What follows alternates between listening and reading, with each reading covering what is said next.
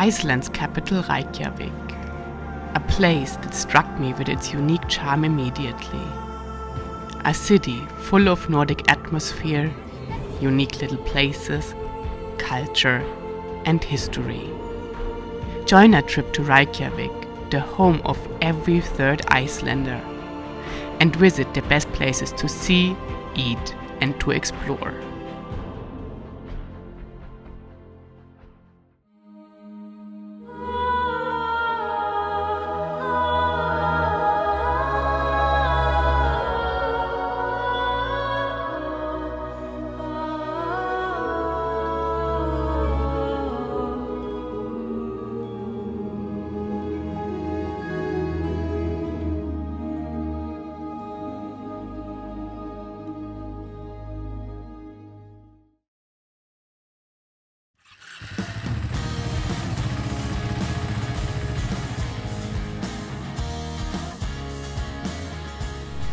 Good morning, everyone. Today we are not going to a remote destination. No, we are actually heading back to Reykjavik. Uh, does that mean that our Iceland trip has ended after circumnavigating the island and crossing it through the highlands on Route 35? Definitely not. We are actually going to Reykjavik to head to even more adventurous places, so stay tuned. I will not tell you yet about the adventures ahead. Instead, I want to take you with me on my motorcycle to enjoy the ride and finally introduce Iceland's capital Reykjavik to you, which probably is one of the coolest cities on earth. There are, of course, a hundred detours you could do. We are actually kind of passing all the areas that we visited in the beginning of the trip, like Flatey Island and so on. But this time we will just stay on the ring road and go to Reykjavik as quick as possible to spend also a bit time there and explore the city.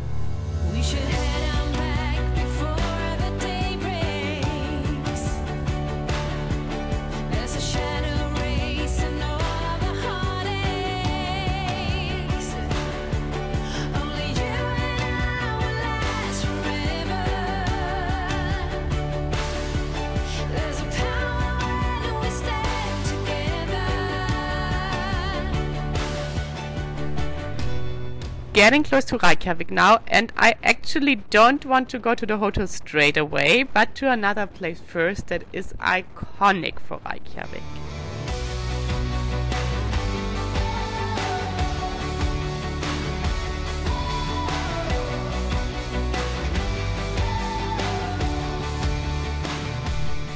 So this here is Reykjavik downtown and even though the place we are going to is big. You don't see it yet. But wait, here we are. We're back in Reykjavik and standing in front of one of the most important sites here. And I will take you on a tour around Reykjavik a bit later.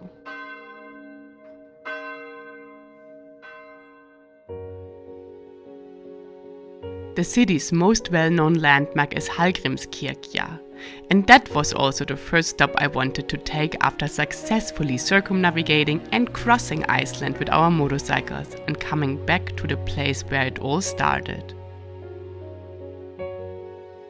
When you take a stroll through downtown Reykjavik, Hallgrímskirkja is hard to miss. This remarkable building stands proudly over 70 meters high as one of the country's most iconic landmarks. Named after the revered Icelandic poet and cleric man Hallgrimur Pétursson, the church stands as a tribute to his profound impact on Icelandic literature and religious life. Construction of the church began in 1945, but it wasn't until 1986 that it was completed. Over these four decades, Hallgrímskirkja grew into one of the most remarkable structures that now dominate Reykjavik's skyline. The architect Gudjon Samuelsson envisioned a structure that would embody the grandeur and mystique of Iceland's unique geology. Stuðlaberg, the Icelandic term for basalt columns, represents a captivating natural phenomenon of Iceland's volcanic landscape. These striking symmetrical hexagonal columnar formations are created by the cooling and crystallization of lava. The design of Hallgrímskirkja is a homage to these natural basalt formations. As you step inside Hallgrímskirkja, you step into an interior of calmness. Even though the church can get a busy place with all its visitors. But the vast open space, with its high ceilings and minimal decor, creates an atmosphere of tranquility and introspection. Hallgrímskirkja is also one of the best places to get a great view over Reykjavik. An elevator takes you up to the bell tower, and from here you have a 360 degrees view over the whole city.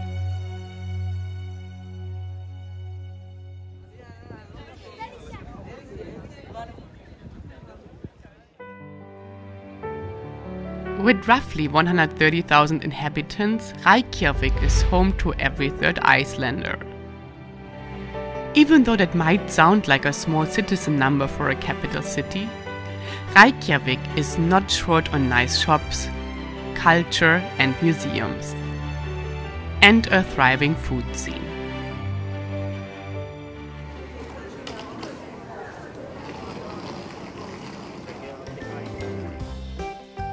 One of Iceland's most famous places to eat is probably a sausage stand. Bæjarins Bestu Pylsur sells lamb hot dogs, and lines are always huge. I skipped this one though. The lines were too long for me, and due to not eating much meat in general, it was also not very tempting to me.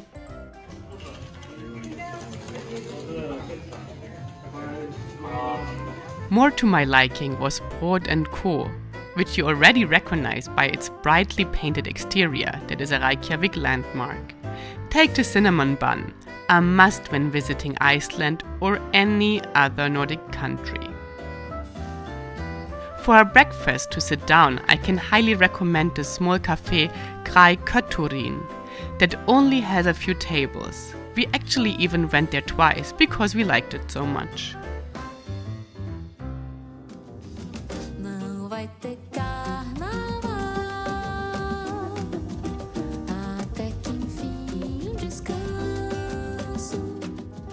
And the best restaurant to dine out? There are so many. For example, the Hip Apothek. The super traditional three coats. The very basic but lovely Hornið. And to my big surprise, my most favorite due to having had Icelandic food for weeks already, was the Indian restaurant Austur India Felagit. And if you didn't have the famous Plokkfiskur fish dish yet, that I fell in love with, head to the restaurant Messinn. Plokkfiskur number two, with three to be precise. And what we're here for is this one. Trying to find the best one here in Reykjavik. Bon appetit!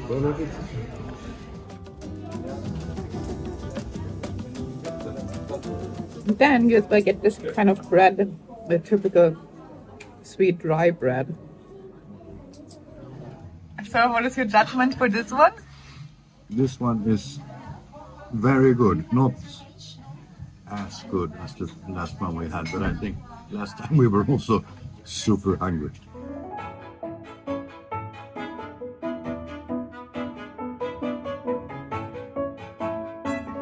So, this is what Reykjavik is famous for rye bread ice cream. Interesting?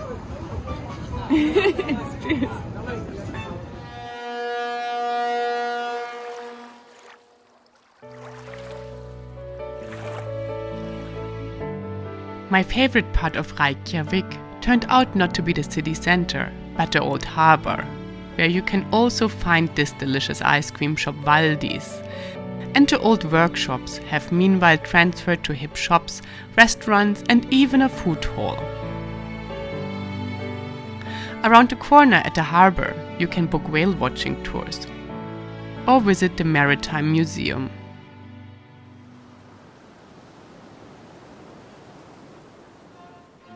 Reykjavik Maritime Museum has a permanent exhibition entitled fish, and folk.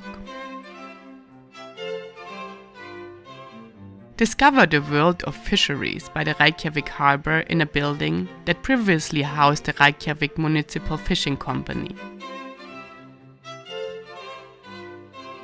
In addition, the museum has floating exhibits the Coast Guard vessel Odin and the tugboat Magni, which are tied up at the museum's pier.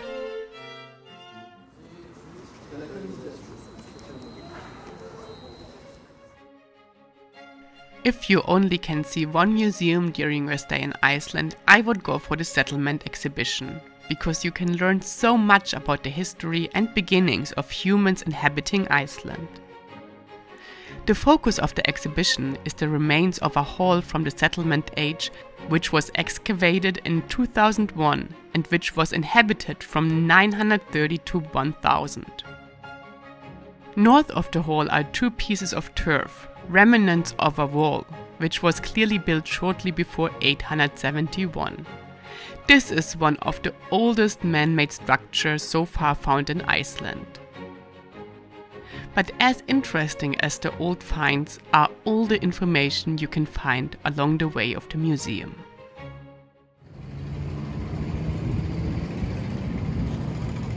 Now I found the best museum. It's the Icelandic Phallus Museum. Yeah, you heard right. The Icelandic Phallological Museum is an entirely independent family owned establishment.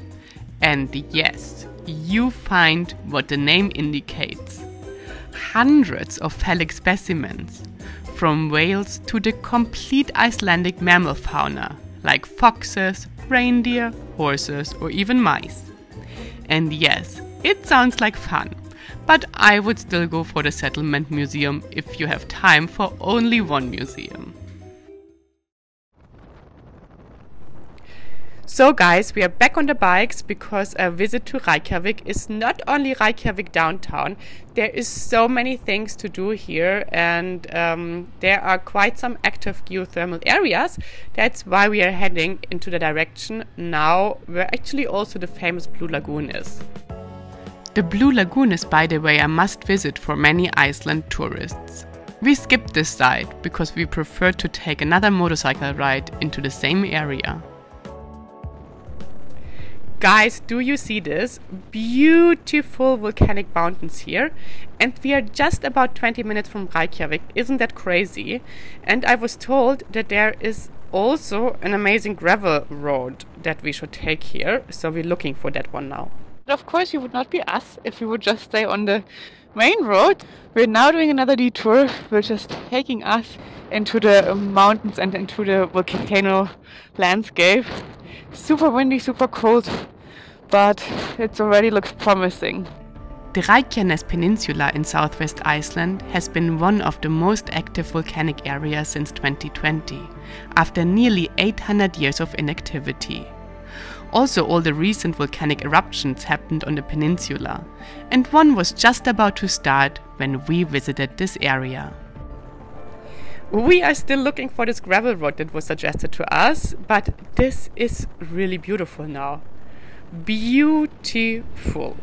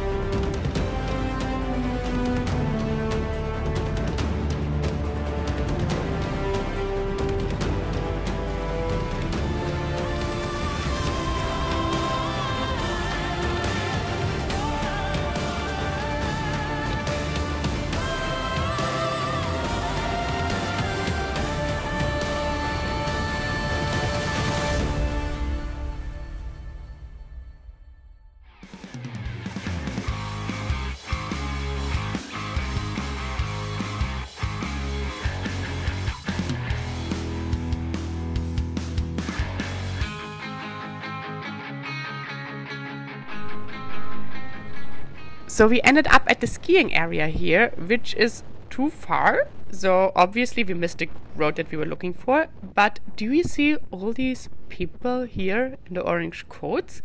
Uh, that is actually usually volcanic scientists. So we heard already about it and felt some eruptions the last um, days here in Reykjavik. But actually, um, yeah, it could be here in this area that a new volcano is erupting soon. I mean, it is here in the area, but we didn't know that it might be so close to where we actually are at the moment.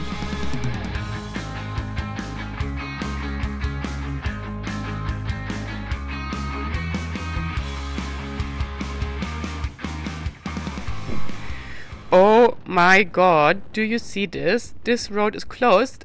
I think that was the road we wanted to take, but isn't this crazy? This might be just closed because um, the volcanic eruption everybody is waiting for um, might happen soon. And to be honest, we really had no clue that it's right here.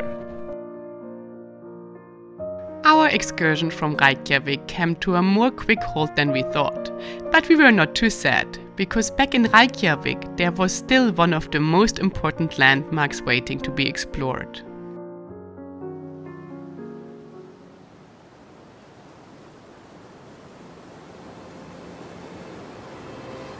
Harpa is one of Reykjavik's newest and most significant landmarks.